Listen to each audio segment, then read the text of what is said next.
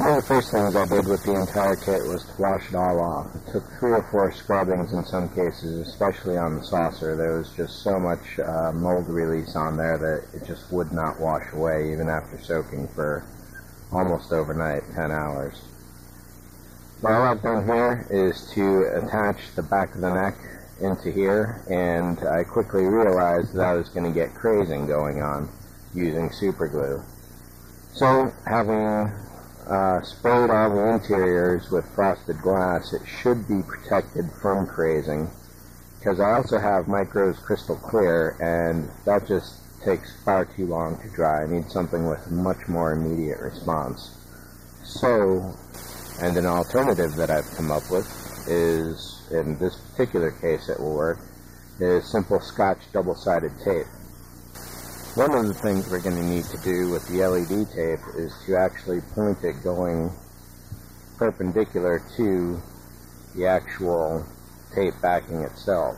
Not only do we need it pointing outside, but we also need a row pointing inside, or rather, like this. Looking at both hull halves, I've determined that probably one of the better places to put it is along the phaser rings.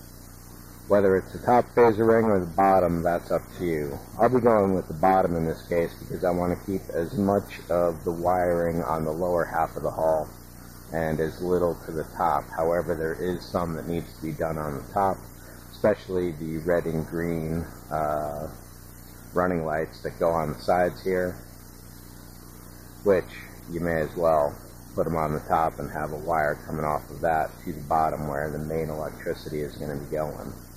Also, you need to think about where all of this wiring is going to run. In this case, it's going to run from the saucer down into the neck, through the main body, and I'll be creating my own brass stand for this. And I also will need, because of that, special mounting inside. You can't just stick a brass tube into this plastic and hope it will hold. I've come across this plastic L bracket from some shelf from some long time ago, and it happens to have this circle here, the uh, screw hole, which I drilled out to fit the smaller of these two tubes, nope, the larger of these two tubes precisely. So this extra thickness attached to the bottom of the ship here is going to help give that stand much more strength and having the L bracket here means I can put a blue LED on the front of that and feed a lot of light into this little front guy here. However, for the moment, let's get the saucer done. Or at least the bottom half, let's work on it a little. So I had mentioned crazing. You don't have to use super glue. You can use other glues. And if you're going to paint this model, then you're all set. It doesn't matter if it crazes at all. Use super glue all you want. In my case, I want to build it clear, so that means I'll need uh, to avoid as much crazing as possible. And that happened to lead me across this idea of using double-sided scotch tape. So, let me show you what my thoughts are here. In order to get the LEDs facing perpendicular to the hull, what we'll need is to either tack them down themselves with glue all along the edge of a phaser ring, or you can create some styrene strip. In this case, this is just under half an inch wide by about 20 inches around. And it pretty much fits the phaser ring perfectly. What I then went on to do is, since this is a clear kit, I happen to have the same amount of uh, styrene strip but in clear. So, what I'll be doing is gluing this together and we'll be attaching it. However, we have the same problem. How do we attach a perpendicular item to the other piece itself? And the answer to that is, I'll show you. So I've taped these two pieces together in the middle and I'll actually be able to trim them because that's more than I possibly need. However, to hold them in place, what I've further done is to go and cut a little square of this clear plastic. I suppose it's much more of a rectangle. From there, giving it a bit of a bend,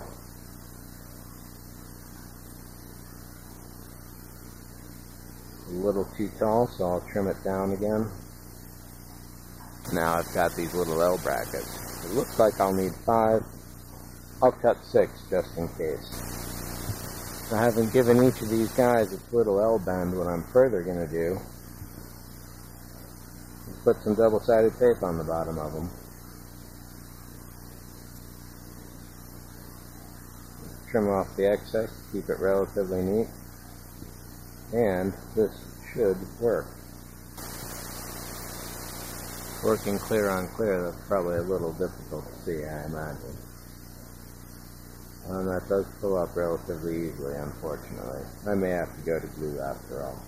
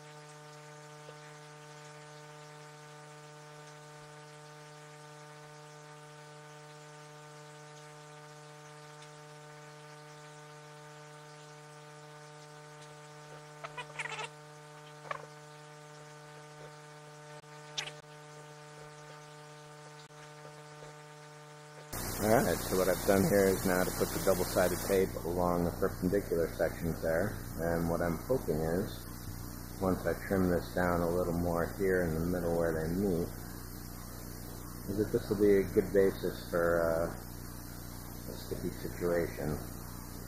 And then I'll simply be able to put the LED tape onto this.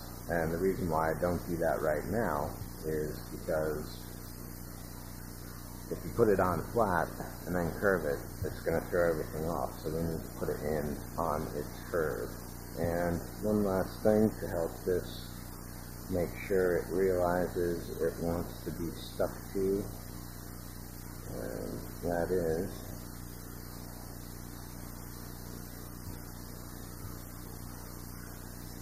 where's sticky tape for everybody?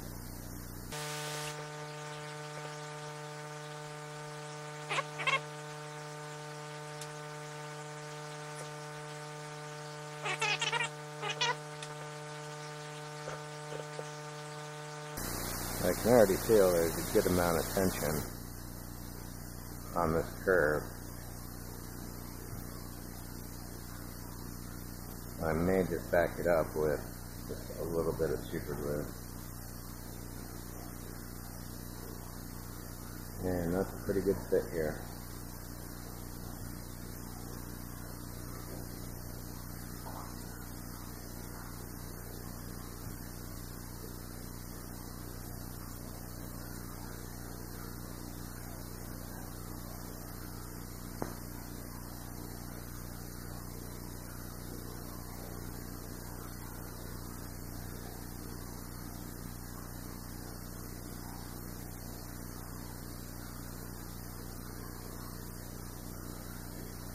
Specifically trimming off the little crinkled edges that the uh, razor blade provides because this can be seen through the clear plastic and I really don't want it to look like the crinkle cut image.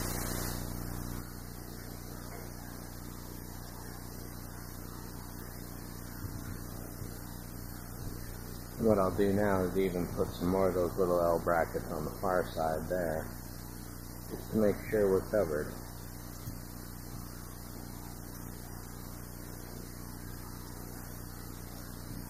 Again, I think five should be perfect. A little bit extra tape off the top, So let's just slice that. This is going to be a fairly tight fit overall, so we don't want anything extra getting in the way.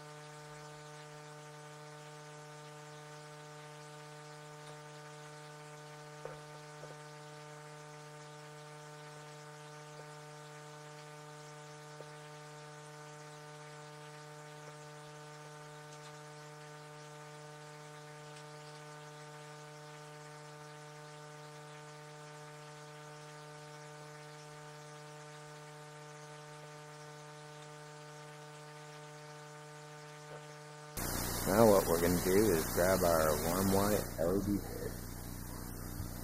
Cutaway shot pulling warm white LED tape off the reel